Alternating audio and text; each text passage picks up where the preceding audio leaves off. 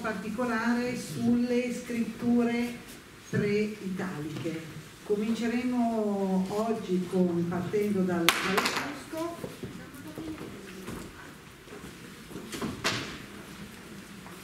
e avremo poi delle lingue veramente per molti di noi sconosciute, il retico, il piceno, il venetico, per finire con i nuovi linguaggi, i linguaggi dell'intelligenza dell artificiale, i nuovi linguaggi che, che vengono utilizzati oggi all'interno di questo mondo digitale. Queste lingue, perché queste lingue? Perché eh, tutti noi abbiamo appunto conoscenza del greco e del latino e non pensiamo che in realtà l'Italia nasce prima come, diciamo così, un mondo di piccoli, eh, di piccoli stati o di piccole eh, aree in cui ciascuno aveva una propria identità, aveva una propria lingua e eh, queste conversazioni sono fatte proprio per capire anche un po' quelle civiltà e come la lingua, l'alfabeto, avesse proprio delle funzioni all'interno della storia di queste civiltà. Per cui non sarà un, co un corso in cui vedremo l'alfabeto e impareremo a tradurre dall'etrusco all'italiano. Anche se, eh, come voi sapete, all'interno del, del nostro museo in questo momento abbiamo proprio un focus particolare sulla scrittura e sulla lingua etrusca, ospitiamo la stele di Lenno, magari poi eh, prima di partire con le diapositive il professor Sassatelli ci dirà due parole sia della stele di Lenno che della stele di Vicchio, dell'importanza di questi due eh, prestiti eh, che, sono, che rappresentano due mondi opposti ma anche due mondi molto vicini e eh, sono collocati all'interno di un'area nostra che è proprio legata alla scrittura etrusca. Scrittura etrusca che eh, si è sempre pensato e si pensa tuttora in alcuni casi sia sconosciuta e eh, il professor Sassatelli ci dimostrerà che non è vero. Per cui introduco eh, con piacere il professor Giuseppe Sassatelli, Giuseppe Sassatelli, professore emerito di etruscologia all'Università di Bologna, nonché presidente dell'Istituto Nazionale di Studi Etruschi e Italici con cui la Fondazione collabora già da, da qualche anno. A te Beppe. Allora.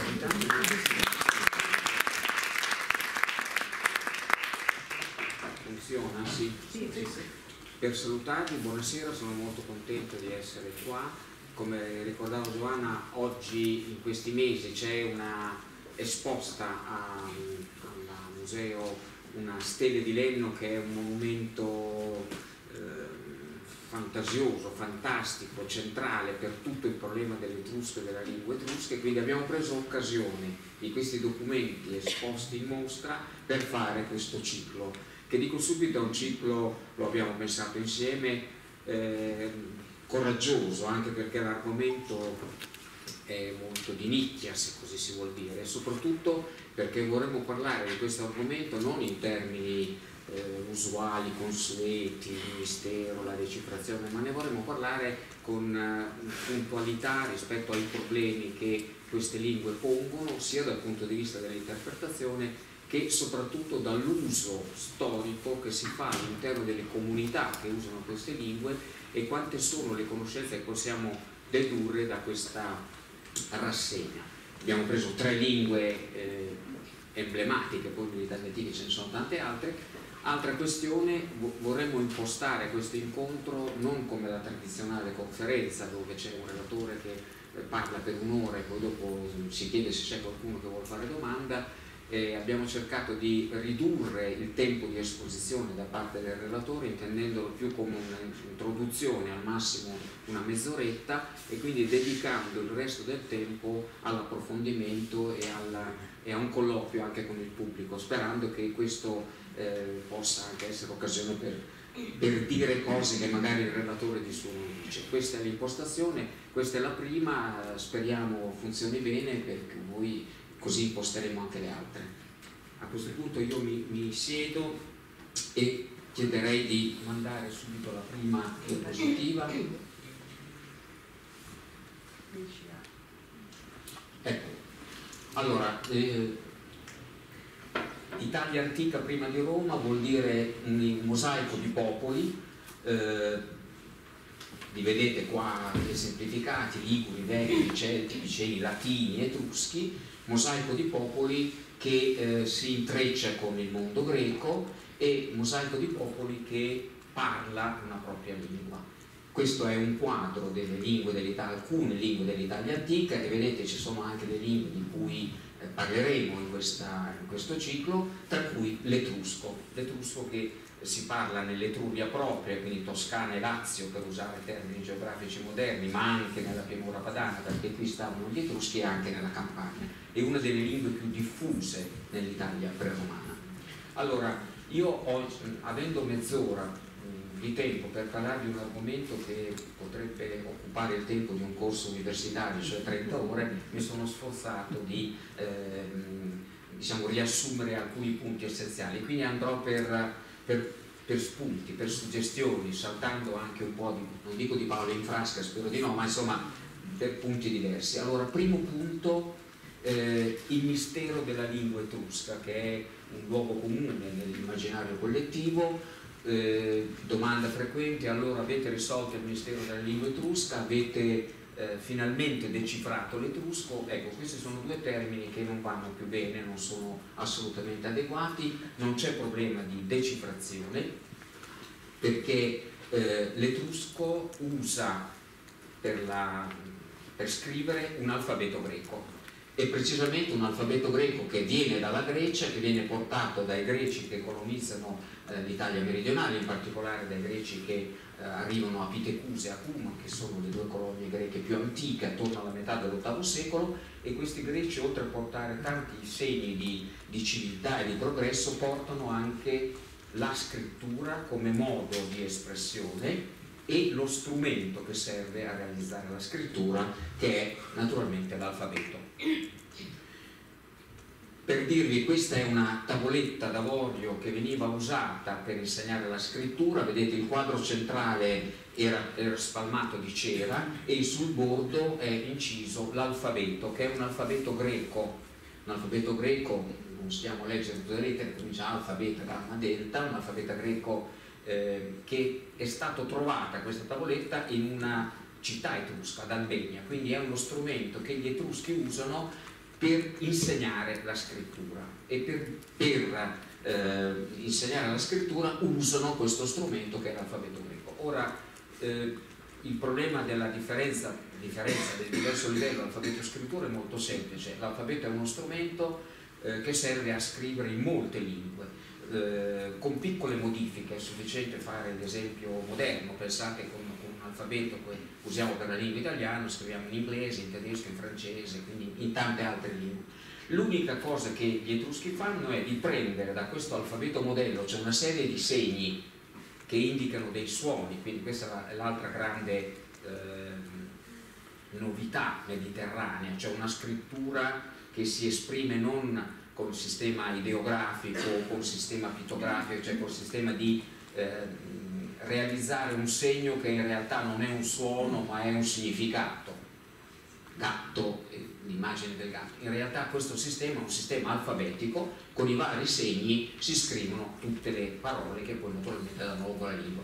L'unico intervento è che gli etruschi eh, devono eliminare alcuni segni di cui non hanno il suono, e questo è molto semplice, eh, e aggiungere alcuni segni di cui invece hanno il suono e in greco non c'è. È la stessa cosa che si fa, visto il, racconto che, il paragone che facevo prima, tra l'alfabeto che usiamo noi per gli italiani e l'alfabeto che usiamo per gli inglesi, sono lettere che noi non usiamo. E quindi questa era solo una tabella per dire che gli etruschi tolgono eh, il beta, il delta, le, le, le sonore, adesso non vorrei entrare troppo nel dettaglio, ma c'è una piccola azione di modifica rispetto all'alfabeto modello, che è l'alfabeto che gli etruschi usano per la loro scrittura e per insegnare la loro scrittura. Questo è il primo punto. La scrittura viene insegnata eh, a partire proprio dall'Etruria meridionale con eh, un sistema mh, che è anche documentato da un punto di vista archeologico eh, che mh,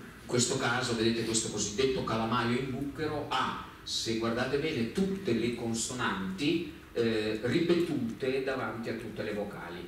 Tra le lettere che gli etruschi non hanno c'è anche l'omicron, non hanno il suono quindi le vocali etrusche sono iota, alfa, epsilon e y. E quindi in questo caso vedete un bel esercizio di scrittura proprio in alto, chi, ca, cu, che, pi, pa, pu, pe. Quindi è quell'esercizio che si fa oggi per apprendere la scrittura, eh, monumentalizzato in questo strumento, che fa vedere come davanti alle consonanti di questo alfabeto si comincia a imparare la scrittura. Eh, questa è la prima considerazione, quindi non c'è un problema di decifrazione, nel senso che la lettura è semplice, poi vedremo che ci sono altri problemi e che questo apprendimento avviene dopo l'arrivo dei greci nell'Italia meridionale quando eh, avviene questo apprendimento, quando avviene questo fenomeno e dove, con che seriazione cronologica. Questa è l'altra considerazione. Gli Etruschi cominciano a scrivere attorno al 700 a.C., i Greci arrivano nell'Italia meridionale attorno al 750, ci sono 50 anni diciamo, di, di, di apprendimento, le prime iscrizioni sono attorno al 700 e eh, qui si apre subito un problema di rapporto con il latino perché tutte le fonti latine, tutta la tradizione latina dice che i primi a scrivere nell'Italia antica furono i latini, ovviamente le fonti latine parlano di Romolo, in realtà la documentazione archeologica ci dice che i primi a scrivere sono sicuramente gli Etruschi, attorno al 700 a.C., perché i documenti più antichi di scrittura in latino sono almeno di 30 anni più recenti eh, rispetto ai documenti etruschi, almeno questa è la documentazione archeologica che abbiamo, quindi c'è una priorità cronologica degli etruschi nell'apprendere lo strumento della scrittura, che naturalmente è altra cosa rispetto alla lingua, nel senso che la lingua si parla e si comunica attraverso la scrittura, è un, è un sistema diverso di comunicare che ha bisogno di questo eh, diciamo così, espediente. Quindi una priorità degli Etruschi rispetto al mondo latino. Prima considerazione. Seconda considerazione, la scrittura degli Etruschi, è, secondo punto diciamo, di, di suggestione, di discussione, è che gli Etruschi scrivono la scrittura, scusate, sia degli Etruschi che dei Latini in questa fase, è una scrittura monumentale, è una scrittura su materiale solido, non è una scrittura su eh, libri, perché eh, si scrive sulla ceramica, si scrive sulla pietra, si scrive sul bronzo e questo sistema di scrittura è naturalmente molto diverso dal punto di vista della realizzazione. Scrivere sulla ceramica è relativamente facile, soprattutto eh, si prende un vaso, si incidono le lettere, eh, separa l'aspetto produttivo eh, di chi fa il vaso dall'aspetto di chi scrive. Quindi il vaso lo fa il vasaio, poi lo dà a chi sa scrivere e questo scrive sul vaso eh, quello che gli viene detto di scrivere. Però si scrive anche sulla argilla prima della cottura, questa è la tegola di capo, una lunga iscrizione che sta al Museo di Berlino, e in questo caso c'è una tegola di argilla molle eh, fatta da un artigiano che fa l'argilla e poi la, la, la, chi sa scrivere incide l'argilla ancora molle e poi viene cotta al forno. E qui siamo ancora in una fase in cui i due, i due aspetti sono separati chi scrive può anche prescindere da chi fa l'oggetto. Ho fatto qualcosa? Ecco. C'è un, un, altro punto un po' più difficile che è la scrittura su pietra. In questo caso eh, scrivere sulla pietra ci vuole una tecnica artigianale perché non è facile e in questo caso eh, o chi sa incidere la pietra è anche uno che sa scrivere, oppure chi sa scrivere deve imparare la tecnica di incidere sulla pietra. Quindi le due eh, diciamo, specificità si cominciano ad intrecciare, ancora di più nel bronzo questo, perché questa è la tavola di Cortona, un'altra lunga iscrizione etrusca, perché nel bronzo, in questo caso, eh, l'iscrizione viene fatta nella cera persa, quindi nella, nella forma di fusione eh, quindi su una, una, forma di fusione con, con, la cera, sulla cera, poi si mette il bronzo e il bronzo fondendo realizza l'iscrizione. Quindi già l'intervento dell'artigiano in questo caso è un intervento eh, diciamo così più consistente, ancora più evidente nel caso come questo della chimera di Arezzo dove l'artigiano che fa la chimera, che quindi è un è un artista che fa la chimera, che viene fusa, anche questa con la tecnica della cera perduta, fa anche l'iscrizione. Quindi qui siamo già nel campo in cui gli artisti sanno scrivere.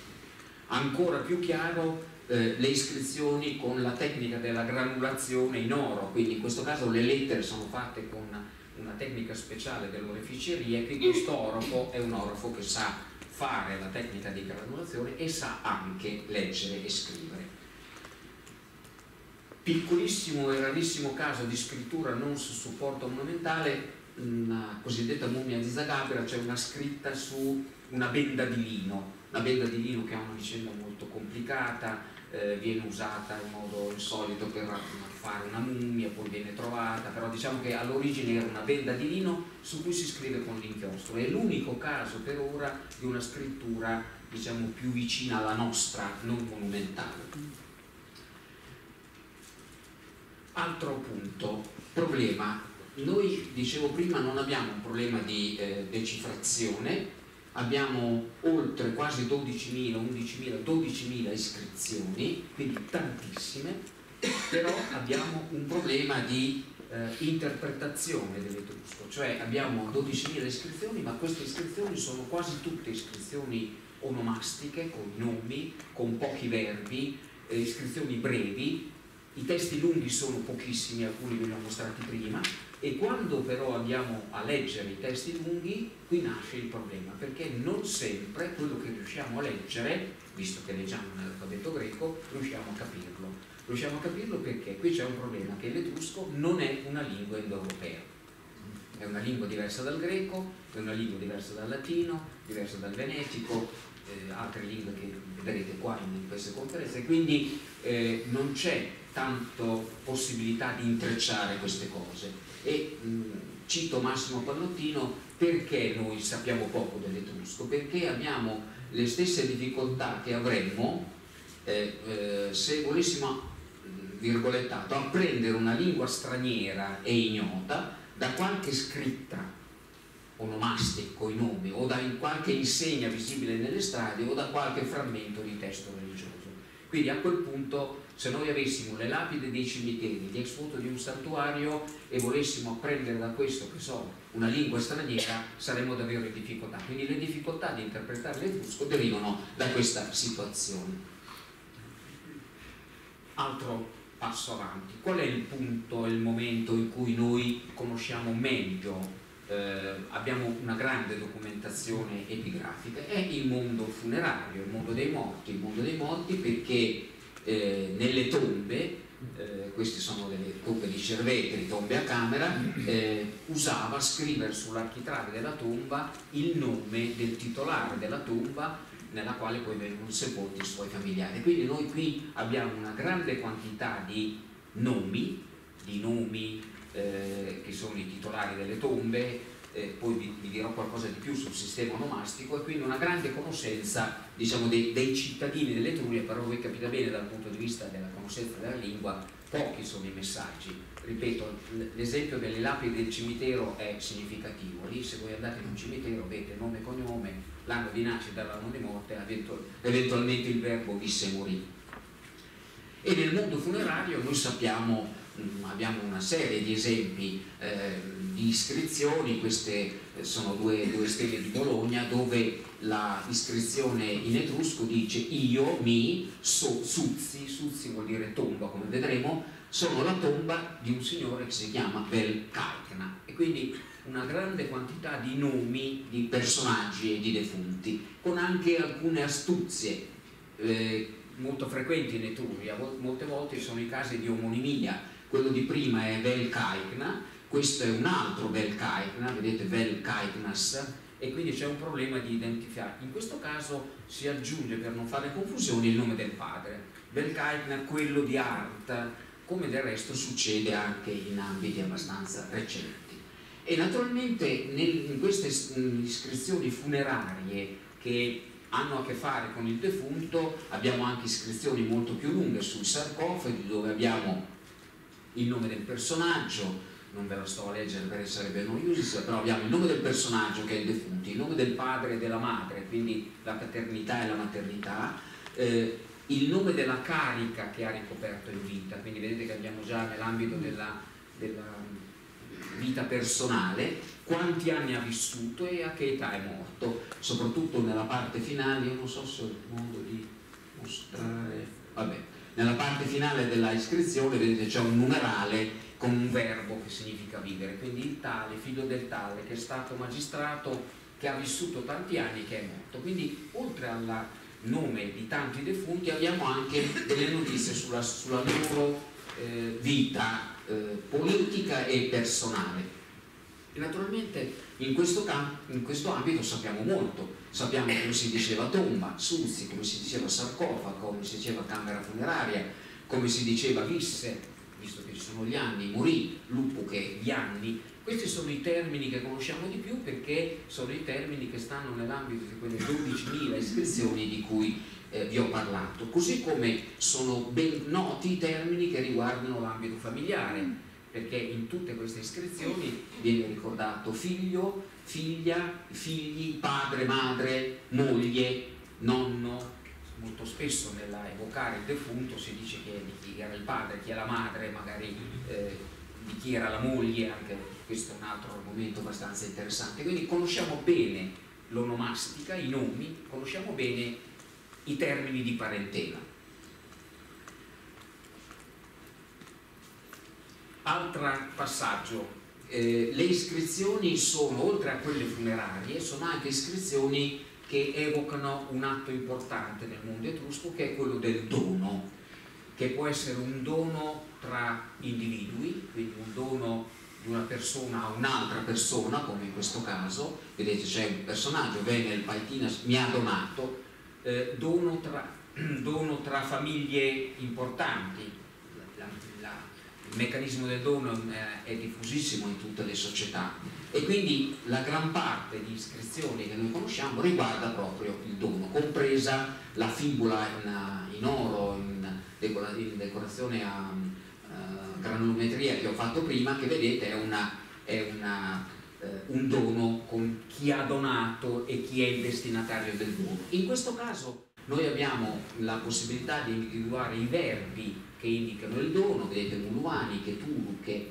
Ali, che tra l'altro con un problema di sinonimia, qui ci sono gli stessi verbi, verbi diversi che indicano lo stesso concetto, probabilmente avevano una sfumatura che non siamo ancora riusciti bene a individuare. Qualcuno ha tentato di pensare che uno dei verbi fosse perdono alla divinità, qualcun altro perdono uh, tra cittadini, in realtà non è così. Però diciamo che sui verbi di dono siamo informati perché la maggior parte delle iscrizioni riguardano il dono tra individui. Così come siamo informati sui doni alle divinità, quindi cose donate in un luogo di culto, con lo stesso verbo muluvani che vedete che viene usato per il dono ai cittadini.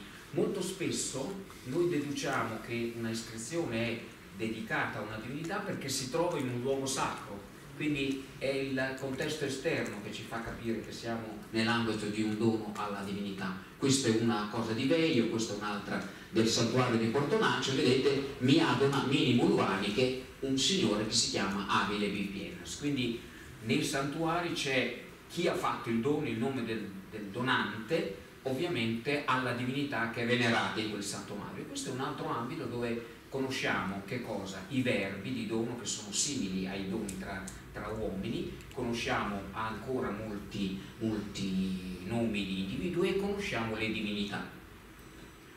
Un'altra iscrizione ancora di dono. Scrivevano da destra a sinistra. Sì, allora, eh, scrivevano prevalentemente da destra a sinistra, ma qualche volta anche da sinistra a destra, ma eh, vorrei subito tranquillizzare, è una pura consuetudine, anche noi potremmo scrivere da sinistra a destra con una scrittura alfabetica, abbiamo, abbiamo deciso di scrivere in questo modo, ma se lei mette in fila le lettere da una... è una consuetudine che non ha grandi implicazioni sulla...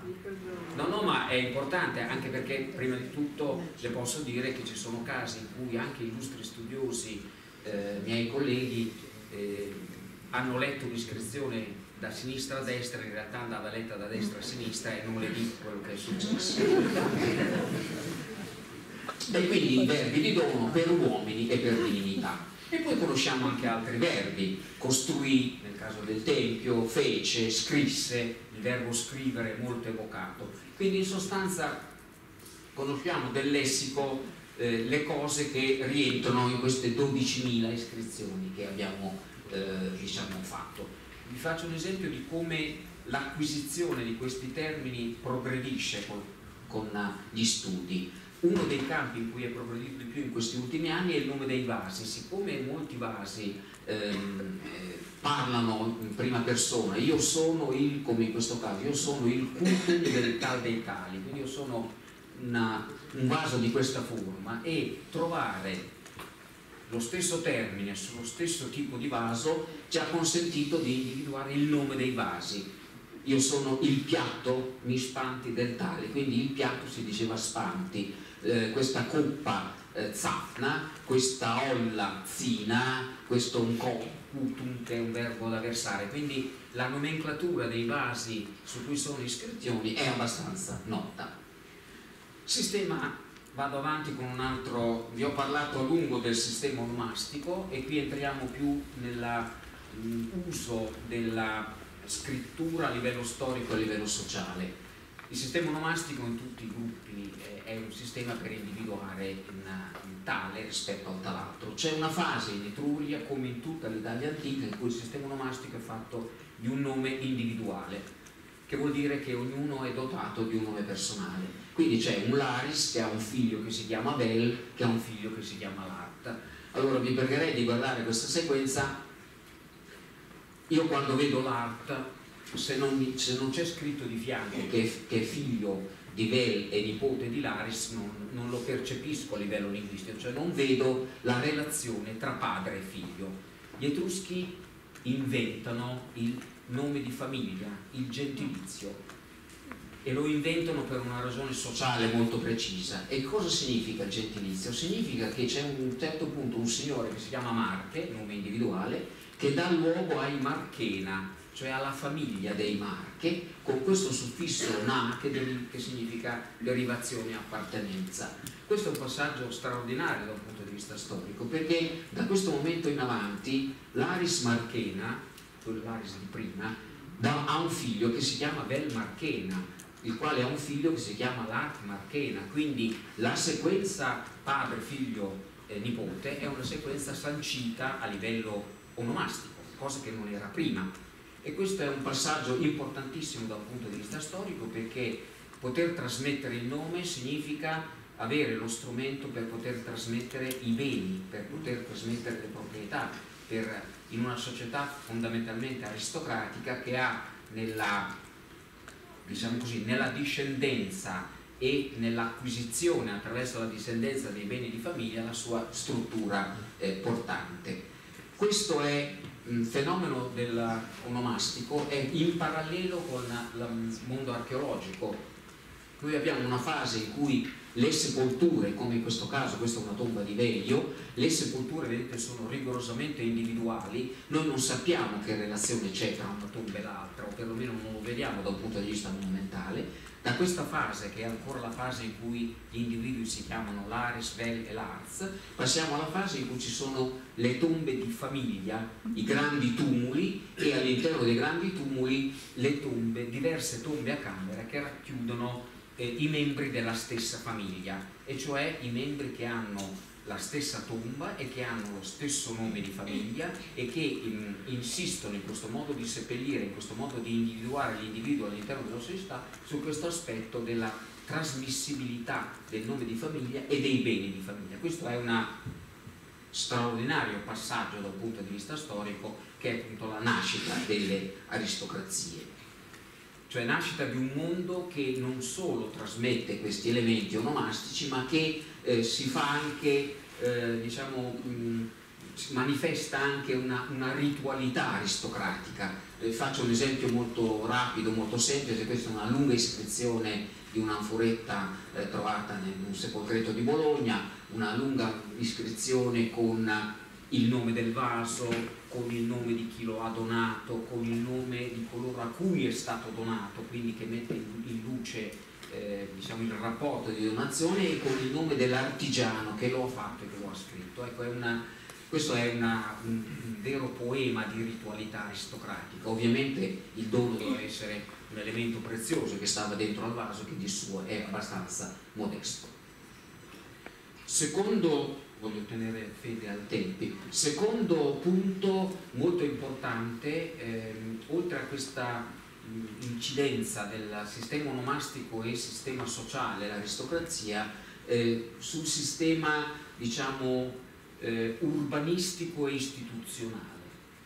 Gli Etruschi sono noti per essere i grandi inventori, tra le altre cose, della città, quelli che per primi, a parte la questione di Roma, adesso qui non voglio fare troppe priorità cronologiche, però hanno inventato questo modo di abitare, che è un modo diverso da quello preistorico per villaggi, per piccoli villaggi, che è un modo più complesso, che non è solo avere più cittadini, avere più abitanti, ma è anche una complessità economica, è una complessità giuridica, una complessità politica. Quindi la città è una grande invenzione che nasce proprio per gli Etruschi e non è un caso che noi conosciamo tra i termini dell'Etrusco ehm, eh, quelli che etichettano il fenomeno urbano nei suoi diversi aspetti.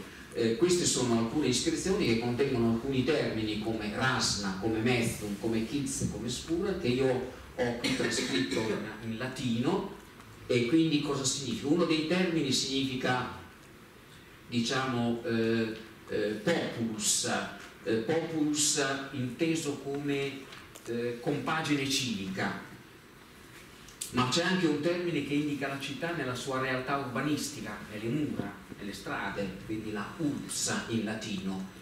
C'è un termine che indica l'acropoli, cioè la città alta, e c'è un termine che indica la comunità che non è ancora città, stura, che è la civitas. Quindi in sostanza noi abbiamo la possibilità di vedere l'equiparazione tra etrusco, latino e greco di questi termini, che sono termini che ci fanno vedere come gli Etruschi avessero una consapevolezza piena di che cosa voleva dire città nel suo assetto urbanistico, nella sua struttura politica e nelle sue conseguenze, diciamo così, organizzative. Altro punto in cui le iscrizioni sono presenti nei luoghi sacri, questa è una ricostruzione del santuario di Pirci, eh, qui quando si costruiva un tempio, un grande tempio, si, lo si commemorava questo atto con delle lamine iscritte, queste sono lamine d'oro, che evocavano, che descrivevano questa costruzione, eh, diciamo era una sorta di memoria storica della costruzione, qui in questo caso tra l'altro in, in etrusco, poi in fenicio e anche in etrusco. La stessa cosa succede in, a Marzabotto, abbiamo scoperto recentemente, due grandi templi, in uno di questi una lamina molto più modestamente in bronzo, ma io dico sempre più signorilmente in bronzo, non siamo così cafoni come gli etruschi meridionali che entrano loro, ed era una lamina che andava in una, una, una piccola tabella accanto al tempio. La cosa interessante è che sono piccolissime queste lamine, davvero stanno nel palmo di una mano, quindi questa iscrizione che evocava la costruzione del tempio bisognava che fosse letta proprio da, da molto vicino, ma è un altro ambito in cui eh, gli etruschi lavorano eh, molto. Ultima considerazione, eh, la scrittura e la possibilità di individuare attraverso la scrittura il rapporto con gli stranieri, con i non etruschi. Questo è un semplice quadro delle culture dell'Italia antica, eh, cultura di gola secca dove stavano i Celti, cultura testina dove stavano i Veneti che parlavano il venetico che vedrete nella, no, nella, in una di queste eh, situazioni, di queste conversazioni. Ora, noi abbiamo la possibilità di individuare attraverso le iscrizioni etruschi che stanno tra non etruschi, a Busca nel mondo dei Liguri, a Basilio nel mondo tra Liguri e Celti, a Genova nell'area diciamo nord-occidentale dove non ci stanno gli etruschi come dominio ma ci sono degli etruschi, ci sono delle iscrizioni etrusche, questa è l'iscrizione di Busca un nome etrusco, un verbo etrusco, è un signore che si fa seppellire in terra straniera tra i Liguri e i Liguri gli consentono di farsi seppellire con il proprio nome e con la propria lingua. Lo stesso accade in area eh, con la Secchiana, dove c'è in questo caso una iscrizione con una, tra l'altro potrebbe essere anche una bilingue in questo caso, una iscrizione nella lingua dei, di Gola Secca che è quella dei Leponzi e poi c'è questo graffito etrusco che eh, viene letto come ziku che evoca la scrittura. Quindi su uno stesso vaso probabilmente usato per un brindisi noi abbiamo una, una iscrizione in doppia lingua. Una nella lingua del posto che è quella di Gola Secca e una in una lingua straniera che è quella di un etrusco che probabilmente è anche un maestro di scrittura, perché poi gli, Etruschi insegnano la scrittura a tutte le altre popolazioni dell'Italia settentrionale. Ma c'è un altro bellissimo esempio all'incontrario di una iscrizione venetica, quindi dell'area nord-orientale, trovata in un sepolcreto di Bologna. Bologna era una grande città etrusca e qui c'è in una tomba questa cista di bronzo che ha una iscrizione in lingua venetica, quindi in questo caso gli Etruschi di Bologna accolgono ovviamente nella loro comunità questo straniero, gli consentono di essere seppellito nel proprio cimitero e di scrivere nella propria lingua. Quindi come vedete c'è una grande apertura verso gli stranieri, etruschi nel mondo dei Liguri, etruschi nel mondo dei Celti, eh, venetici nel mondo degli Etruschi, c'è solo un ambito settentrionale che sembra essere eh, diverso in questo comportamento e credo che l'incontro con la Marinetti sarà importante perché il mondo dei Veneti non consente agli stranieri di scrivere nella loro lingua e anche gli etruschi che arrivano nel mondo dei Veneti, sicuramente questo è un etrusco, Racoi è un etrusco, lo sappiamo, quando arriva tra i Veneti eh, mantiene il proprio nome ma lo deve venetizzare e quindi c'è un comportamento diverso, ma questo è un argomento che lo lasciamo alla Marinetti. Eh, poi avevo un'ultima riflessione tra etruschi e romani, ma non so se... Allora, ma questo sarà brevissimo. Eh, la lingua è anche un bello strumento per farci capire l'impatto tra etruschi e romani, che è un impatto sempre molto, eh, a volte un po' strano, a volte un po' con tanti luoghi comuni. Allora, intanto mh, è interessante se noi guardiamo eh, diciamo, il numero delle iscrizioni e l'uso della scrittura nella, nella, nei due ambiti, il mondo latino e il mondo romano, credo di aver scritto anche questo dato, eh, se noi ci fermiamo tipo al 400 a.C., che è un anno così eh, fittizio, eh, noi abbiamo circa 900 iscrizioni etrusche e abbiamo 40 iscrizioni latine, cioè vuol dire che tra 500 e 400 a.C. gli Etruschi scrivevano molto di più dei latini, eh, forse perché erano anche un po' di più, ma non è solo quello. Allora, questo rapporto è interessante perché noi abbiamo eh, degli Etruschi, delle famiglie etrusche molto importanti, in questo caso gli Spuriana eh, di Tarquinia, che sono una grande famiglia di Tarquinia, famiglia titolare della tomba dei tori, che molti di voi forse conoscono, che eh, entrano nel mondo romano, eh, vengono assorbiti dal mondo romano, vengono eh, accolti nel mondo romano, nella classe dirigente romana, perché i romani avevano una grande astuzia di accorpare un po' eh, i non romani, usavano una politica diciamo, molto, molto raffinata e nel momento in cui diventano cittadini romani latinizzano il prossimo nome, quindi gli Spuriana diventano gli Spurina, nel foro di Tarquinia c'era un un famoso elogio in latino di questa famiglia antica di Tarquinia, però in latino. Lo stesso accade in altri ambiti, questa è una, una urna di Perugia, il Museo dei Volumi, dove i velimna etruschi di vecchia data eh, diventano volumni quando entrano nel mondo romano, quindi latinizzano il proprio nome. Quindi la latinizzazione del nome è un segno di integrazione di carattere eh, politico.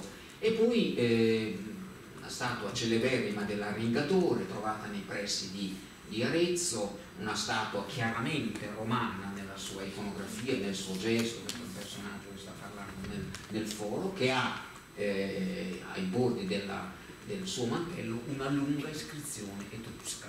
Quindi è ricordato il nome del personaggio, Aule Meteli e poi tutte quelle cose che ha fatto in etrusco, in un'età in cui gli etruschi sono già conquistati dai romani. E questa è l'ultima considerazione, così come eh, in altre urne questo diciamo, passaggio dal latino all'etrusco è frequente e questo, mh, tornando alla statua dell'arringatore, mi consente di eh, chiudere un po', no, c'avevo anche un'altra questione, no, di chiudere eh, col fatto che la lingua etrusca è usata anche quando l'Etruria non ha più la sua indipendenza politica, anche quando non c'è più eh, una Etruria come, come, nazione, come gruppo di città, ma è già tutta completamente romanizzata e qua eh, per chiudere viene in mente la, mh, la tradizione di Mecenate, Mecenate che era un grande intellettuale della corte di Augusto, quindi siamo nel primo secolo,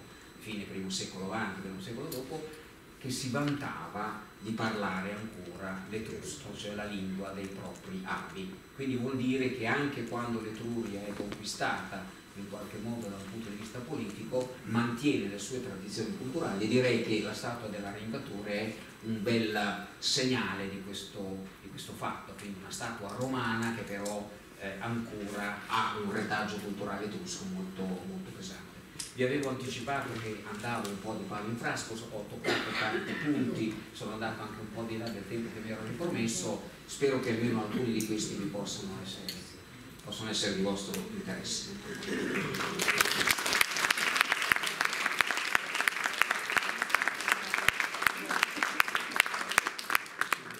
Grazie, un modo diverso per, per studiare la, la lingua etrusca. Eh, io parto con qualche domanda, però veramente eh, vorrei cominciare io a fare una domanda, poi eh, apriamo le domande al pubblico. Una domanda eh, molto semplice. Dato che parliamo di un ciclo di, di lingue e di scrittura prelatina, come dialogavano tra loro? Cioè l'etrusco come parlava col piceno e parlava col retinico? Scusa. Allora, eh, questo, io credo che la, mh, questo problema si risolve pensando all'arrivo dei greci nell'Italia meridionale a Pitecuse e a Puma. I greci arrivano, hanno dei rapporti commerciali con gli etruschi, insegnano loro che esiste la pratica della scrittura. Prima del Settecento nessuno in Italia antica sapeva che si poteva scrivere, mentre Greci e Fenici erano già abituati a questo. È evidente che nel momento in cui comunicano eh, questo strumento di comunicazione ed hanno anche la, lo strumento tecnico per farlo, si dovevano intendere. È chiaro che qua siamo in presenza di bilingui, non c'è alcun dubbio che qui in qualche modo si intendevano tra di loro e io credo che l'insegnamento della scrittura anche tra le altre popolazioni eh, celti o insomma la lingua lepuzia tra i celti avvenisse eh, attraverso persone che eh, avevano la possibilità di entrare in colloquio attraverso forme di un bilinguismo se vogliamo sperimentale ma è assolutamente imprescindibile perché a questo punto questo è un livello di rapporto che non può essere portato a gesti o come, come il commercio, il baratto uno mette una cosa, poi mette a fianco un'altra, si guardano attorno, valgono la stessa cosa, quindi bisogna veramente fare una riflessione eh, anche teorica e quindi io credo che sia, non abbiamo prove, però credo che sia inevitabile pensare a una presenza di bilingui. Un'altra domanda classica è il fatto che appunto come sappiamo non ci sono fonti scritte lunghe, cioè intese come testi alla latina o letterari o poetici eccetera, si pensa che siano stati bruciati o secondo te o siano stati dispersi o loro avevano, diciamo così, parlavano o scrivevano soprattutto della parte religiosa, delle iscrizioni eccetera e non erano ancora arrivati a un livello tale da poter avere una scrittura più lunga con dei testi, diciamo così, di letteratura, poesia, eccetera. Allora, eh, intanto questa questione della scrittura che io ho chiamato monumentale, in qualche modo è un tratto che riguarda tutte le eh, civiltà dell'Italia antica, anche il mondo latino, anche il mondo latino fino a un certo momento, io citavo prima questa data del 440-50 iscrizioni, è un mondo che scrive sui monumenti poi c'è una, una, sequenza cronologica in cui a partire adesso la dico in cifra un po' rozza, ma insomma dal terzo, dal secondo secolo, si comincia a scrivere anche in modo diverso, con supporti diversi, più nella versione del libro. Quindi è un fatto cronologico questo, eh, diciamo così, non scrivere su libri in età molto antica. Però detto questo è anche vero che anche gli Etruschi avevano dei libri, probabilmente anche loro in questa fase più recente adottano questo sistema di scrittura, avevano dei libri che riguardavano la religione, libri auspicini, libri rituali in qualche modo, ma c'erano anche, eh, diciamo, c'è anche notizia di qualche testo in etrusco, quindi in sostanza sono andati perduti. Eh, forse erano meno di altre lingue, ma sono andati perduti. E attenzione, io credo che in questo andare perduti, adesso entro in un campo che non è proprio mio, giocasse anche il fatto che erano scritti in una lingua un po' diversa dal greco e dal latino e non hanno usufruito di tutto quel sistema di copiatura dei testi greci e latini che invece della quale hanno usufruito i nostri testi di cui ci, ci occupiamo. Un'altra domanda che ti faccio è come veniva insegnata? Cioè abbiamo modo di sapere, era appannaggio del, dell'uomo, della donna, come, come, si insegnava? Allora, come si insegnava tecnicamente? Lo avete visto da quell'alfabeto dove, come, come i bambini dell'elementare, si mette una vocale, eh, una consonante davanti a tutte le vocali tra l'altro la tavoletta di cera che vi ho mostrato aveva la cera, uno scriveva, poi cancellava e poi riscriveva, quindi tecnicamente lo sappiamo. Dal, dal punto di vista sociale la scrittura nasce sicuramente come patrimonio ed etichetta aristocratica, cioè un modo proprio di esibizione aristocratica, quindi eh, l'insegnamento della scrittura è un fatto che nasce all'interno dell'aristocrazia, anzi questa aristocrazia etrusca esibisce questa conoscenza. Ci sono delle tombe in cui eh, per far vedere che si conosceva la scrittura si incide l'alfabeto, la, come dire io sono uno di quelli che sa scrivere e quindi insegno la scrittura.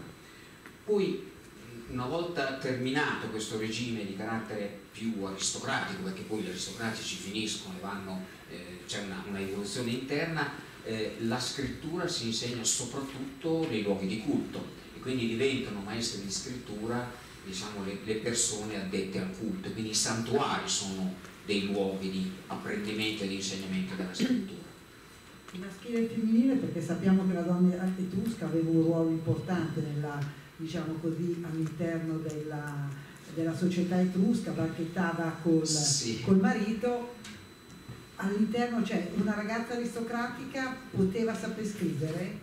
Allora, dal mio punto di vista, eh, in questa fase non c'è nessuna differenza tra uomo e donna, quello che fa la differenza è la, il, il, regime sociale o l'ambito sociale in cui nasce, quindi io non credo che ci sia, eh, non, anzi non, non, abbiamo tante prove archeologiche, poi so bene che c'è una, così qualcuno ha qualche, c'è Giovanni Bagnasco, quindi eh, so bene a, a chi sto parlando, che tende a valorizzare molto questo ruolo dell'elemento femminile. Io personalmente credo che gli elementi per, per diciamo così, eh, inquadrare questo fenomeno siano quelli di un ambito aristocratico in cui indipendentemente dall'uomo-donna, ma questo è in tutti gli ambiti, non solo la scrittura ma anche in altri ambiti, si scriveva, si insegnava a scrivere, si imparava a scrivere. La numerazione, perché abbiamo parlato di alfabeto e non abbiamo parlato di numeri lo so, però mi avete anche detto che devo parlare di 30 minuti, non posso lasciare, infatti c'è la numerazione, sì, la numerazione la conosciamo abbastanza bene anche perché non ho immagini qui, abbiamo dei dadi, dei dadi con, con sei facce, quindi i numeri fino, fino a 6 li, li conosciamo bene, dei dadi in cui non ci sono i pallini ma ci sono i nomi dei numeri in etrusco. E poi con una, uno studio un po' soprattutto della, diciamo così, della, delle nomenclature sulle età siamo arrivati a i numerali sono abbastanza conosciuti. Eh, sistema numerale complesso non, non, tutto quanto, però diciamo 1, 2, 3, 4, 5, 6 sappiamo come si, come si diceva, soprattutto per questo uso dei dati. Apriamo le domande a questo punto, le ragazze vi portano il microfono. Grazie. La presenza della stele di legno qui alla mostra, che ha eh, scoperchiato il grosso problema della provenienza degli Etruschi, dato che la lingua non era indoeuropea, mm. eh, erano autoctoni, oppure la stele di Lemno che io ho trovato quando sono venuta qui al museo mi ha dato un'emozione perché l'avevo studiata e, e, trovarmela davanti è stata. E la presenza di questa stele in etrusco in un'isola greca ha riaperto veramente la nostra questione. È sempre rimasta lì, cioè non si sa da dove, se, si, se fossero autoctoni oppure se venissero dall'Oriente. Eh, allora, mm. allora intanto le, le confermo l'emozione della stella di Leno, le posso dire l'ho raccontato anche a qualcuno di te, l'ho provata anch'io, ho visto la stella di Leno, ero piccolo piccolo negli anni 70 al Museo Nazionale di Atene, quindi non avevo ancora cominciato a studiare, stavo, ero appena laureato.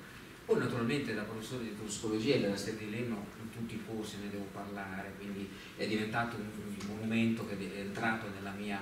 Per cui quando dopo quasi 50 anni l'ho vista qui, e ho detto ma non, così, non, può essere così piccola. Nel mio immaginario collettivo a forza di parlare della stella di Lenno era diventato un monumento straordinario ma questo era per dire che l'emozione anche per chi l'aveva vista è, eh, con la domanda sulla stella di Lenno lei anticipa un po' quello che noi faremo il 6 dedicheremo proprio una, una seduta molto importante poi Giovanni se vuoi dire qualcosa su questo problema della stella di Lenno che credo sia molto importante che sia qui a Milano perché è un monumento straordinario eh, collegato al problema delle origini ma in modo molto più sofisticato e raffinato di quanto eh, si, di solitamente si pensa. Quindi io lascerei la considerazione sulla stella di Leno a, alla giornata di lunedì sulla questione delle origini. Mh, la stella di Leno non, non ha una, diciamo così, non, non risolve il problema delle origini, ma il problema delle origini si risolve in un altro modo, ha delle connessioni col problema delle origini, ma ne parleremo credo il 6. Sì, vi ricordo che forse avete già ricevuto perché è iscritto alle nostre newsletter che appunto il 6 alle 5 avremo un incontro proprio sulla stele di Cavinia con eh, la scuola archeologica di Atene, il professor Papi, sarà proprio una, un lungo, una lunga conversazione e degli interventi con anche la storia un po' diciamo così anche un po' gialla di questo, è un giallo la stella di Lenno, anche come è arrivata in Italia, eccetera. Per cui come è ritornata in, Greca, in Grecia, è stata rubata, a un certo punto è sparita. Per cui eh, poi ne parleremo appunto approfonditamente il 6. Ecco qua tutte le domande. Ah. Poi c'è il signore qua, adesso ecco facciamo. Poi c'è la signora. Sappiamo dalla grammatica etrusca se ci sono elementi di comparazione tra l'etrusco e altre lingue. Tra l'etrusco? E altre lingue. Allora, della grammatica io non mi sono fermato su questo aspetto, naturalmente eh, sappiamo, l'etrusca è una lingua flessa, quindi è una lingua con le declinazioni, sappiamo il valore delle desinenze e le funzioni delle desinenze, eh, tutto per acquisizione successiva di, di, di studi interni, mm, il genitivo che indica la proprietà è quella caso che conosciamo meglio, quindi eh, sappiamo la, la declinazione dell'etrusco, sappiamo le voci verbali dell'etrusco, le terminazioni in che sono dei verbi, sappiamo meno dei tempi sulle voci dei verbi, quindi le, le strutture fondanti dell'etrusco le conosciamo per analogia con le lingue che conosciamo meglio, eh, in ognuna di queste non conosciamo così bene le cose come le conosciamo per il greco e per il latino, però eh, diciamo la, la, la, struttura fondante è abbastanza acquisita, acquisita per, per studi e per, e per continue analogie con le lingue in particolare con, con, col greco e col latino e con le altre lingue indoeuropee. Non so se ho risposto. Il signore, guarda, c'è prima che era il primo che aveva alzato la mano. Innanzitutto grazie per la bella presentazione, grazie per Le volevo chiedere, eh, si riesce a collocare mi scuso ma io eh, sono si riesce a collocare ecco. cronologicamente quando si è creato il, il primo suffisso che identificava la famiglia, come lei ha presentato. Il primo? Suffisso. Suffisso. Il, il, il me della famiglia. Gentilizio. Gentilizio. Il nome Ah, di sì, sì, sì, ah, no, no, allora no, scusate. Dunque, allora, noi abbiamo dei dati cronologici assolutamente impeccabili da questo punto di vista, perché se mettiamo insieme l'invenzione del nome di famiglia e la documentazione archeologica, cioè il sistema di seppellire prima tomba individuale, poi tomba di famiglia, la tomba di famiglia è, è il monumento all'aristocrazia, perché è la tomba dove si mettono i membri della stessa famiglia, tutto questo avviene eh, nella seconda metà dell'ottavo secolo. Questo non ci sono dubbi né dal punto di vista archeologico né dal punto di vista eh, diciamo, eh, epigrafico. Attenzione, c'è stato un momento in cui si pensava che l'invenzione del gentilizio, cioè del nome di famiglia, fosse una sorta di eh, espediente pratico per ovviare all'aumento della popolazione, perché voi capite che in un sistema onomastico in cui il nome individuale è eh, Carlo, Giovanni, eccetera, a un certo momento se gli abitanti sono 600 un conto, se sono 6.000 un altro, se sono 10.000 un altro ancora. Qualcuno aveva sostenuto che il nome della, diciamo, di famiglia fosse un modo tecnico per ovviare a questo. In realtà questa è una spiegazione assolutamente minimale che va eh, proprio non, non funziona. Noi oggi abbiamo le prove archeologiche di questo eh, grande mutamento dal punto di vista storico e il sistema onomastico è la prova diciamo così, più importante perché si è Aristoi solo se si è figli di Aristoi, quello che discendenza, sono i vincoli di sangue, sono i nomi di famiglia, perché dietro questo ci sono i beni, quindi non è solo una questione di carattere dire, anagrafico affettivo, ma è proprio una questione di proprietà. Quindi anche pensate a tutte le, le, le leggende sbagliate degli Etruschi che erano talmente disinvolte che non si accoppiavano con le persone, non sapevano di chi erano i figli, non c'è nulla di più sbagliato, non sapevano benissimo chi erano i figli perché poi dovevano sapere a chi lasciarli. Quindi la cronologia di questa invenzione è assolutamente mh, fissabile in questo periodo. C'è il signore. Buonasera. Devi tenere il microfono ben vicino. Sì, sì, buonasera. Eh, intanto una domanda di carattere lessicale. La, la lettura eh, delle frasi che abbiamo visto anche in, in uno degli ultimi slide su quel vaso eh, ha un'analisi logica che non è quella a cui siamo abituati noi. C'è il nome proprio all'inizio, il cognome patronimico alla fine e il verbo in mezzo, quindi mh, han- usavano una- un criterio di costruzione delle frasi diverso. Mi pare di aver capito leggendo eh, queste, queste iscrizioni. E la seconda domanda, eh, l'assenza di testi eh, molto più articolati e eh, ampi non può far pensare che con il mondo romano i romani abbiano comunque in qualche modo cercato di azzerare eh, tutto quello che poteva essere per loro un argomento magari anche di pericolo sociale. Allora, sulla prima domanda, ecco, sulle sequenze forse io... L'analisi so- logica dalla frase, Sì, nome, però, verbo... eh, però nella- le- la struttura portante delle frasi, indipendentemente dalla posizione, è una struttura portante molto eh, lineare, eh, con eh, prenome, gentilizio, verbo, destina- verbio di dono, destinatario del dono, eh, prenome, gentilizio, anni in cui è vissuto, anni in cui è morto, quindi le sequenze sono abbastanza, forse eh, con tanti esempi lei ha avuto Sì, un'impressione. ho visto quel vaso, eh, c'erano due o tre frasi allineate in verticale, quel vaso rossiccio, una delle ultime slide. Melenzani? Eh, Forse, adesso Forse. non... Allora, lì- forse, ma sì. ecco lì allora lì ha ragione, nel senso che eh, il- modello di iscrizione che io, eh, quello che ho detto adesso è il modello più diffuso, sono le 11.000 iscrizioni, quindi no- prenome, gentilizio, un verbo di un'azione per un dono a un, altro, a un altro nome o per un dono alla divinità. Quello che ragione, allora adesso ho capito, quello che lei dice è ci sono iscrizioni più lunghe, tipo Sì. questa anforetta rossiccia come lei l'ha chiamata, lì c'è un problema che è un problema di un testo un po' più lungo di quelli tradizionali con nome e verbo, ma perché lì ci sono tre segmenti, tre concetti, tre punti di iscrizione. La- il primo segmento dell'iscrizione dice chi è il proprietario del vaso, dice eh, Misa, Venza e poi ci sono i nomi. Io sono il vaso del tal dei tali, primo segmento. Poi la seconda parte dell'iscrizione dice il tale, ci sono dei nomi, il tale e il tale mi ha donato. Mi ha donato. Quindi il proprietario del vaso che naturalmente è il destinatario del dono. Chi ha fatto il dono? E attenzione con i due nomi, sono tutti nomi di famiglia, quindi non marito e moglie, marito e moglie, eh, mettiamo insieme due famiglie che si legano tra di loro, uno fa il dono e uno lo riceve.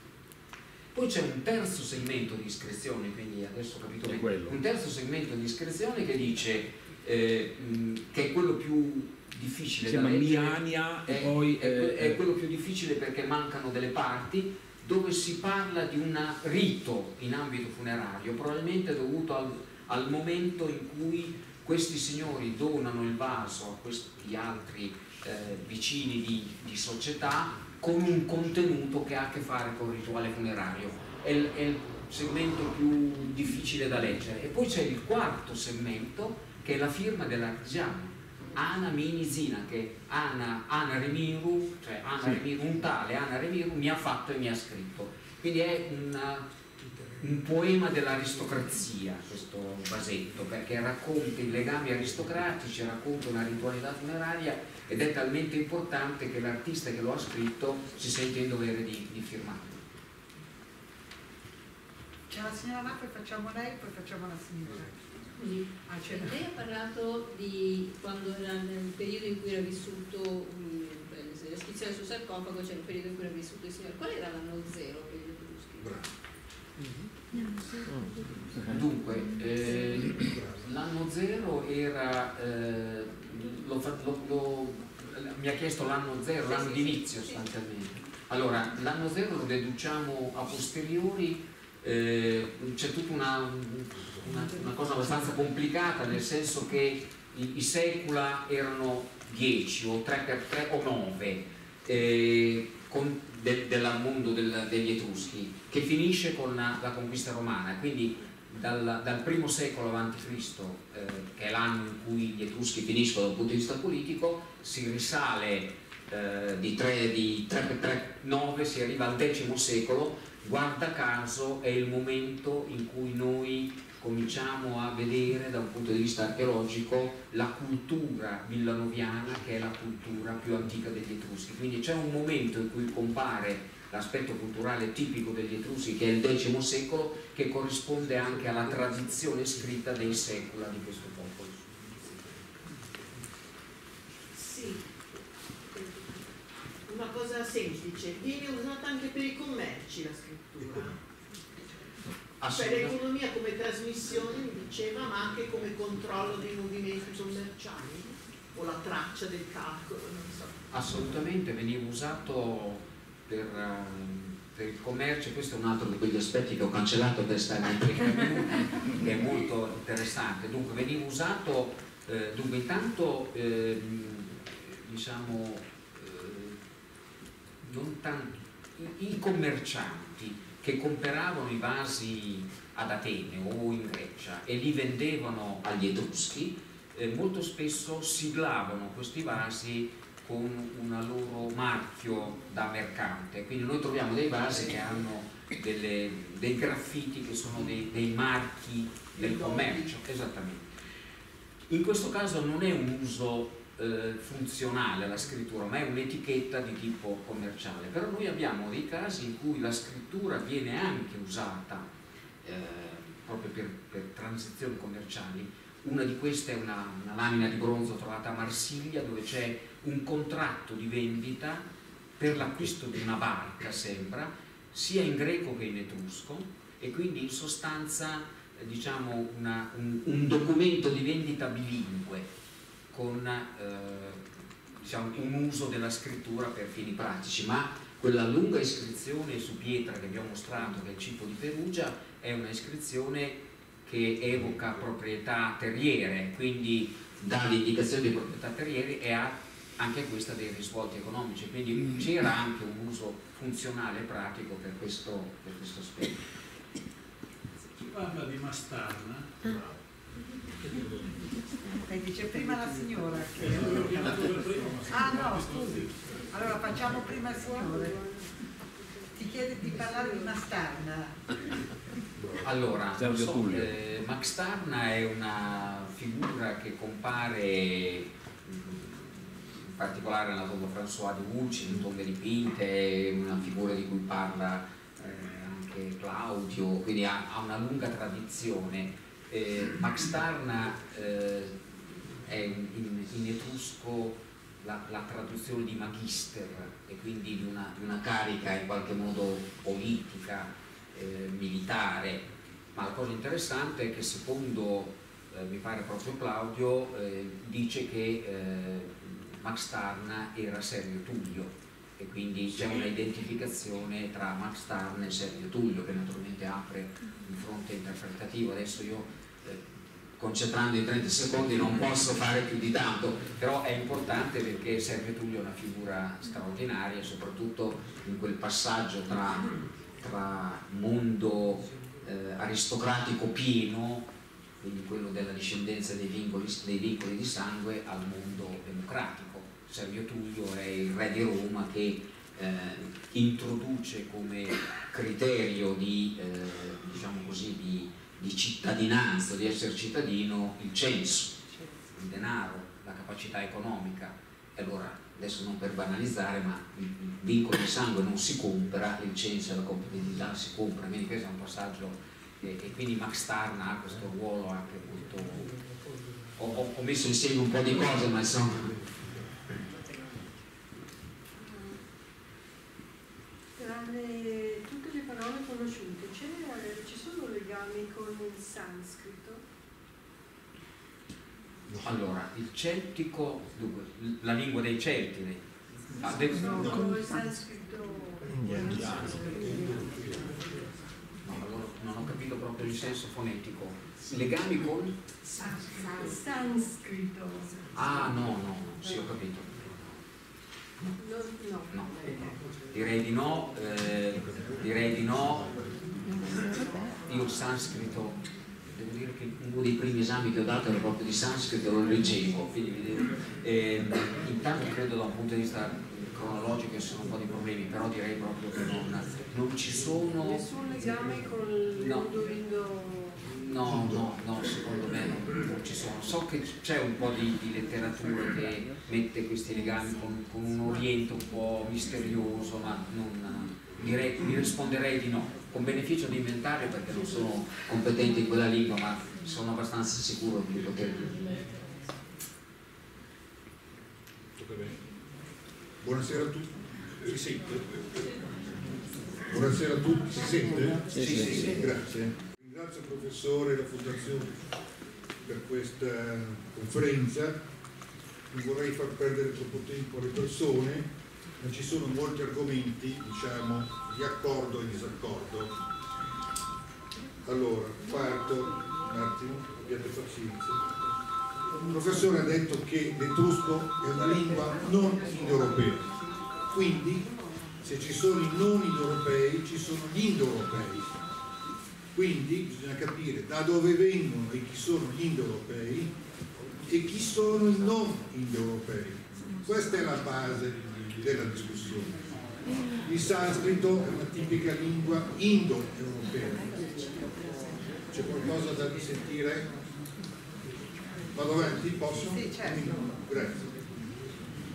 Ovviamente cito qui nella libreria c'è un grande testo del linguista Harman che parla degli europei, quindi chiunque di noi può andare a leggere il libro di Harman, che prende spunto dalla grande archeologa Maria Gimbutas, che scrisse per prima, ma gli studi sugli europei risalgono al XVIII secolo, nel 1956.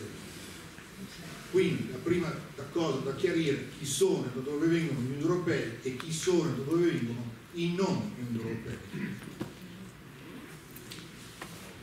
saltando di palla in frasca, il professore ha detto una cosa molto importante di Servio Tullio, che sarebbe, diciamo, secondo leggenda, il figlio spurio di Tarquinio Prisco. Tarquinio Prisco è il quinto re di Roma, Tarquinio è un re etrusco, quindi si capisce molto bene, ma vi evito di di dire la letteratura che Roma nasce dalla confluenza, merge, convergenza tra latini indoeuropei, sabini indoeuropei ed etruschi non indoeuropei. Servio Tullio ha fatto un sacco di cose, tra cui le cosiddette mura serviane. Se voi uscite dalla stazione Termini, sulla destra, ci sono le mura serviane. L'incontro ragionevole, probabile, tra gli etruschi e i romani, si potrebbe dire favoleggiando, è sull'isola Tiberina, perché gli etruschi vengono, diciamo, dal Lazio, Veio è la città più importante a 16 km, Cerveteri 30 km, Vulci 50 km. Il porto di Pirgi è vicino a Civitavecchia, poi ritorneremo sulla lamina etrusco Fenicia.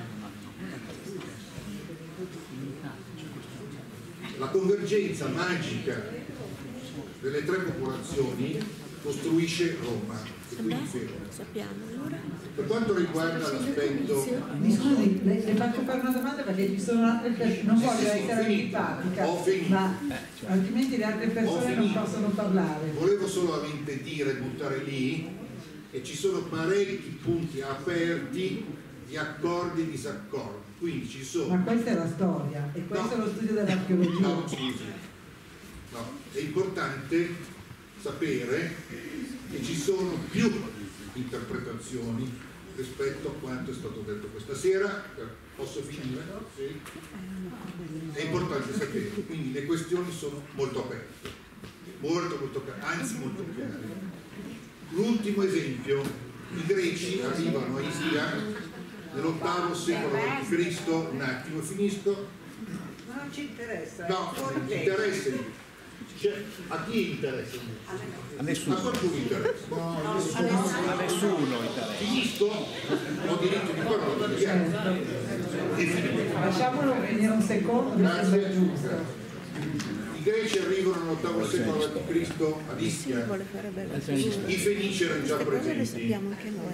I greci nel periodo arcaico hanno la lineare B, che è una lingua indoeuropea cioè successiva alla grande crisi del XII a.C. dove si spacca l'Oriente. La lineare A, noica, invece ha ben altre origini e non indoeuropea. Quindi ci sono molte cose da rimettere sul tavolo e qui mi fermo. Allora, la ringrazio per aver posto tutti questi problemi e ribadisco una cosa importante che queste conversazioni, se ci fosse stata la professoressa Bagnasco, probabilmente su alcune che c'è, che avrebbe discusso eh, al posto del professor Sassatelli, probabilmente alcune divergenze ci possono essere, come è normale in una scienza come l'archeologia, che è ancora una scienza di studio ma sperimentale, ogni giorno conosciamo qualcosa, un esempio è la stele di Vicchio, qui, qui sotto. Ci sarà una giornata chiusa in cui i maggiori, diciamo così, epigrafisti esperti di lingua etrusca e non solo verranno a studiarla è il bello del conoscere queste civiltà eh, certo. di cercare di, di, di, capirle e avere delle interpretazioni. Io arrivo dal mondo della scienza, dal mondo della medicina e le garantisco che la ricerca ogni volta è diversa secondo di come la si vede. Per cui adesso facciamo le ultime due domande, vuoi rispondere? No, no, voglio rispondere semplicemente su una cosa, su tutte le altre potremmo discutere anche su una cosa rispondo, solo che ci siano più interpretazioni non vi è dubbio. Io sono 60 anni che faccio questo lavoro, no 60 anni adesso sto un po' esagerando, però io ho sempre vissuto di colloquio, di, di contraddizione, di confronto, eh, di cambiamento di opinione, di sentire le cose andare a studiare altre cose, quindi secondo me non, quello che io ho detto è il risultato delle mie attuali convinzioni, probabilmente se vengo qui fra un mese eh, dopo aver studiato un po' può darsi che vi dica delle cose diverse, quindi la volevo assolutamente tranquillizzare sul fatto che, eh, che ci siano opinioni diverse, idee diverse, poi non sto adesso sul merito delle cose, però è il, è il sale della vita di un ricercatore. Perfetto. Signore? Ho la voce abbastanza potente, è stato semplicissimo la domanda, poi la risposta era da lei, visto che lei quasi lo parla ecco la fonetica, come si è regolato? Ha approssimato la presunta greca, la presunta latina? Allora, è molto interessante questa domanda. Eh, allora, noi sulle altre lingue abbiamo dei testi teorici sulla fonetica, lingua latina, lingua greca, che ci dicono il suono dei segni quindi abbiamo dei testi teorici e siamo sicuri. Per l'etrusco non abbiamo nessun testo teorico, siamo arrivati a una fonetica approssimativa pensando che il suono eh, delle lettere che gli etruschi usano fosse più o meno lo stesso che avevano i greci. Quindi è una, per, diciamo così, per approssimazione, per analogia, eh, credo che sia un, tutto sommato un, un, artifizio ma abbastanza plausibile. Però non abbiamo un testo che ci dice che, che, ci dice che il gamma la velare che la, la, la labiale eccetera eccetera. Però avendo i segni dell'alfabeto greco noi li leggiamo, noi etrusconi li leggiamo come se fossero eh, scritti in greco. Credo che siamo abbastanza vicini. Probabilmente poi ci sono anche delle sottigliezze più però adesso diventa un po', un po complesso però diciamo per vicinanza al mondo greco. L'ultima domanda?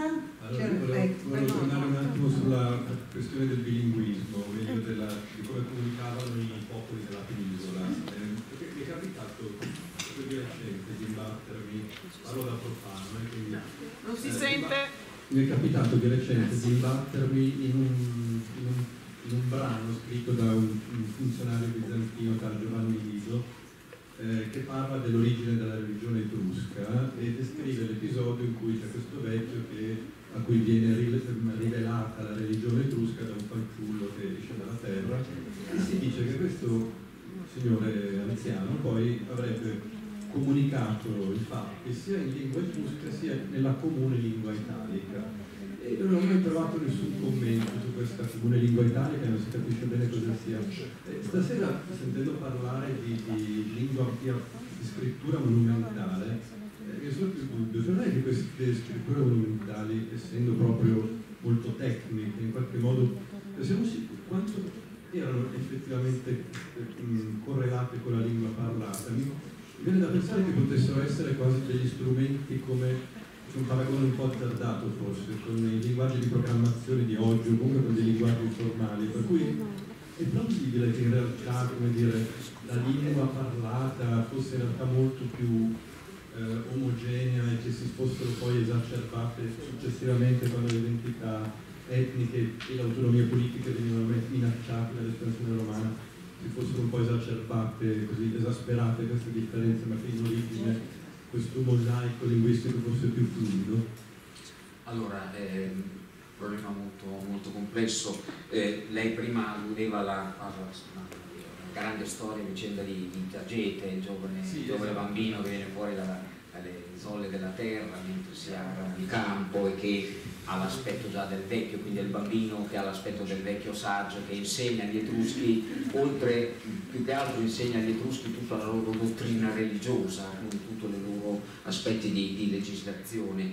Eh, in quel racconto eh, la contrapposizione etrusco-italico è, è, un po' improprio, etrusco e non etrusco, italico è un termine troppo generico perché va va, va suddiviso in tante lingue italiche, non so se questo che più sottile è la domanda, eh, problema del rapporto tra lingua parlata e eh, scrittura monumentale, questo è, questo è, è difficile, è, difficile, è chiaro che eh, la lingua monumentale, la chiamo lingua monumentale quella del cibo di Perugia, quella del, dei monumenti pubblici, quelli che uno leggeva quando andava al Tempio e guardava la lamina che evocava la costruzione del Tempio, oppure la, oppure la tavola di Cortona che stava in un archivio, uno andava a leggere e guardava come se fosse un archivio notarile.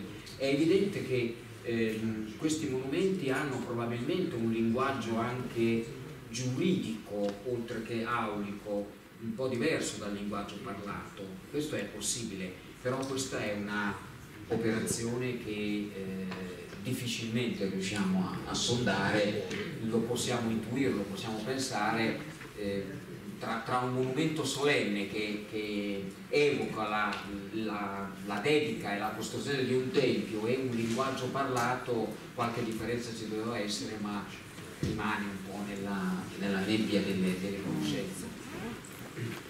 Bene, io direi, scusate, no, perché sono le... L'ultima domanda. Dai, lasciamo l'ultima domanda alla signora, finiamo con una domanda femminile. eh, immagino, ah, grazie, immagino che ehm, ci sia, immagino che ci siano delle parole che attraverso il latino sono arrivate fino alle lingue di oggi io ho letto dei libri, magari mi sbaglio, ho imparato tante, tante, ecco, cioè, Greci, Carena, Prora, tutta quella serie lì, satellite, è giusta? Non lo so, adesso comunque molte parole latine sono arrivate sicuramente. Lei mi dica la domanda? No, era questo, volevo sapere se era vero che molte parole etrusche attraverso il latino sono arrivate fino a noi. Eh, qui è un po' più difficile. Perché io ho letto dei libri ma non so se siano eh, giuste queste cose che ci sono scritte. Eh, credo che sicuramente nessuna parola etrusca sia arrivata nella lingua contemporanea, lo è? Questa è una no, domanda no, curiosa. No, nella lingua contemporanea no, no greci. Io per esempio adesso non voglio farle perdere tempo, ma leggevo che loro chiamavano gli elleni, i greci chiamavano se stessi elleni sì. e gli etruschi li chiamavano cracoi, qualcosa del genere. No, no, lì c'è proprio un pezzo formidabile di Dionigi Alicarnasso ecco, che non che, lascia dubbi. Che, Dice che i latini li chiamavano tusci, sì. i greci li chiamavano tirreni, tirrenoi, e questo è importante a proposito dell'indoeuropeo non indoeuropeo, eh. e gli etruschi chiamavano se stessi Rasna. Ma i greci come li chiamavano? Tirreni. I greci li chiamavano Tirrenoi. No, i, gli etruschi come chiamavano i greci? Ah, questo è un altro problema. Ecco, questo, sì, eh, beh, questo è un problema sì. più sottile. Sì. Però volevo tornare sulla questione dei, dei, nomi. È importante questa... Eh, qui si capisce cosa vuol dire indoeuropeo, cioè eh, mentre Tusci, Tirenoi nella tradizione delle lingue europee hanno una lunga storia, un nome che è totalmente fuori da queste tradizioni è Rasena, Rasena che quindi fa capire, e Dionigi di Alicarnasso dice eh, chiamavano se stessi con questo nome perché erano diversi da tutte le altre popolazioni vicine quindi è una diversità che non è solo una questione da dove venivano, dove venivano, che indoeuropeo e non indoeuropeo è anche un fatto cronologico, anche in Grecia c'erano dei non indoeuropei, poi sì, poi il lineare B non ha nulla a che vedere con, i greci che vengono in Italia, ma questa è un'altra questione. Ecco, quello che lei, quello che lei domanda io sinceramente non, non conosco tanto di queste possibili immissioni di, di, di parole. Poi adesso sto pensando come i greci chiamavano uh, dunque, a come gli, cioè lei vorrebbe sapere che non usavano... Ma ho letto dei libri, volevo semplicemente avere una conferma su quello che avevo letto, cioè che eh, i, i, gli etruschi chiamavano eh, gli elleni qualcosa tipo cracoi, che poi è diventato greci, nella no, lingua no, no, certo. Ecco, allora, questo. No, no, sì, sì, no, no, eh, graicoi, sì, adesso ecco, ho capito. Certo, certo. Questo lo sappiamo, ecco, cioè, lo sappiamo. Questo è vero. Graicoi è il nome come i greci chiamavano se stessi, però, eh, attenzione. Quindi non è un fatto etrusco. Il problema che adesso avevo è un altro, che in etrusco ci sono, c'è un gentilizio che è kraikalu, kraikalu che è eh, dove il termine alu al, significa derivazione, vuol dire figlio di un greco.